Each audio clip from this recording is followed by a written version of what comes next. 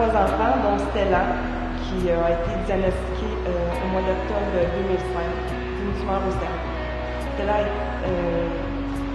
a eu besoin de la chimiothérapie, d'une opération.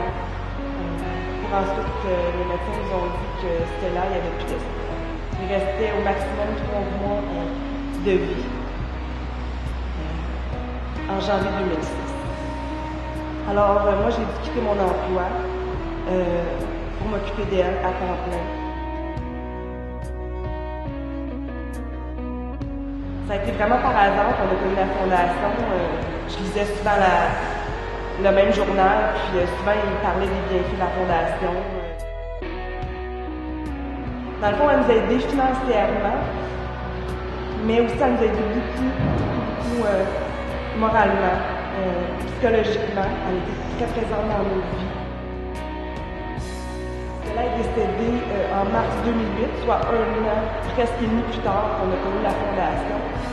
Euh, la fondation, elle a été là même après. Elle nous a permis, en tant que famille, de, de, respirer.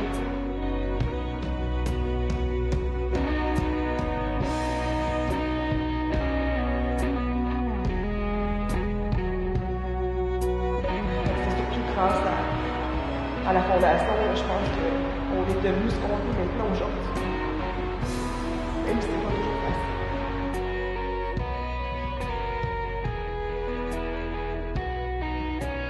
Je vous invite personnellement le 28 octobre à me joindre à moi pour la course au sommet de l'espoir au profit de la Fondation des Migrants de l'Espoir euh, pour aider d'autres familles qui, comme nous, ont bénéficié de leur aide. Alors, euh, je vous attends.